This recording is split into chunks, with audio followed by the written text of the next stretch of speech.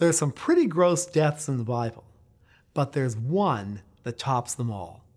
And it takes place in a beautiful theater on the Mediterranean coast, and it's a very public event. I hope you don't get too grossed out by the story behind the story of worms, worms, and more worms.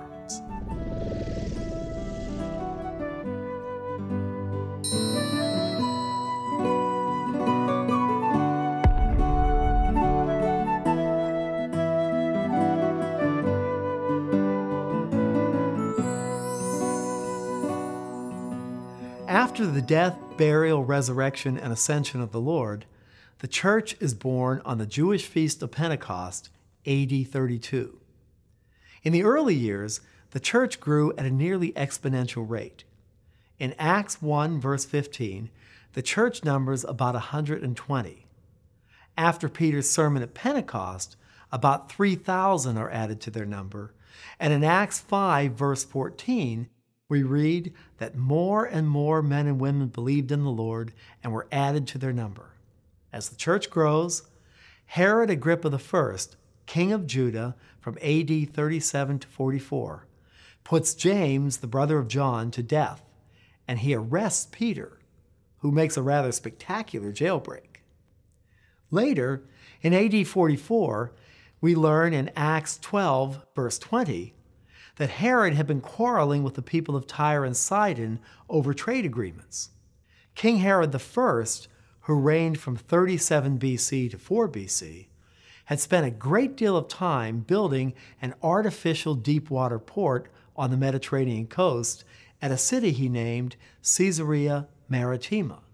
For centuries, Egypt had been the food production center of the ancient world, and Egypt shipped its goods north up the Via Maris the main international trade route that paralleled the Mediterranean coast up to Tyre and Sidon, natural deep-water ports, who then shipped goods via the maritime routes to the rest of the Roman world. By building a deep water port at Caesarea Maritima, Herod shunted goods to a closer port, isolating Tyre and Sidon and severely damaging their economy. At the time of Herod Agrippa I, representatives from Tyre and Sidon sought audience with the king to resolve their trade disagreements. And they held a meeting in the theater at Caesarea. The theater is a beautiful example of Roman architecture, and it's unusual in that it faces west, right on the coastline.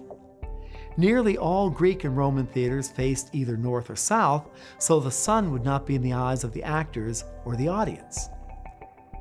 As the assembly gathered in the theater, Herod Agrippa I moved from his palace in Caesarea, a mere five minute walk, to the theater. At daybreak, he enters from the north entrance, striding across the stage, and takes his seat. Josephus, the first century historian, describes the scene in his book Jewish Antiquities. In a garment woven completely of silver, so that its texture was indeed wondrous. He entered the theater at daybreak. There the silver, illuminated by the touch of the first rays of the sun, was wondrously radiant, and by its glitter inspired fear and awe in those who gazed intently upon it. Immediately, his sycophants began saying, oh, There's a God! And we read in Josephus that because the king did not reject their flattery, he was gripped in his stomach by an ache that he felt everywhere at once and that was intense from the start. He collapsed on the stage, was carried back to his palace, and after five days, he died. Acts 12, verses 21 to 23, gives an abbreviated version. On the appointed day, Herod, wearing his royal robes, sat on his throne and delivered a public address to the people. They shouted, This is the voice of a God, not a man. Immediately, because Herod did not give praise to God, an angel of the Lord struck him down, and he was eaten by worms and died. How cool is that? So, what happened? In great likelihood, Herod was a victim of guinea worm disease. Guinea worm disease is a parasitic worm infection that today affects very poor people primarily in sub Saharan Africa. People get infected when they drink water containing a tiny flea that's infected with the even tinier larvae of the guinea worm. Over the course of a year in the human body, the immature worms pierce the intestinal wall, grow to adulthood, and mate.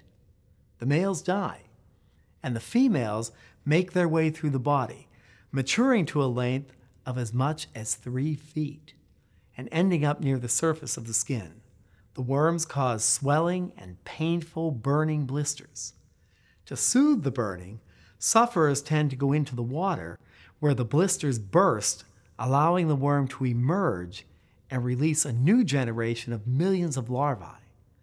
In the water, the larvae are swallowed by small water fleas, and the whole cycle begins again. A few days or hours before the worm emerges, the person develops a fever and they have swelling and pain in the area where the worm is.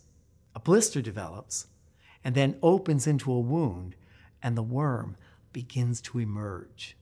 Infected people usually do not have symptoms until about a year after they drink water contaminated with the infected fleas. And the disease becomes apparent as the adult worm begins protruding from the skin. Although limited mostly to very poor areas of sub Saharan Africa today, guinea worm disease was common in the ancient world. And this is probably what afflicted Herod Agrippa I. So, I hope you were not too grossed out by the story behind the story of worms, worms, and more worms. We hope you've enjoyed this week's Bible Blast with Dr. Bill Creasy. For the most comprehensive Bible teaching on the planet, join Dr. Creasy at logosbiblestudy.org. That's logosbiblestudy.org. See you there.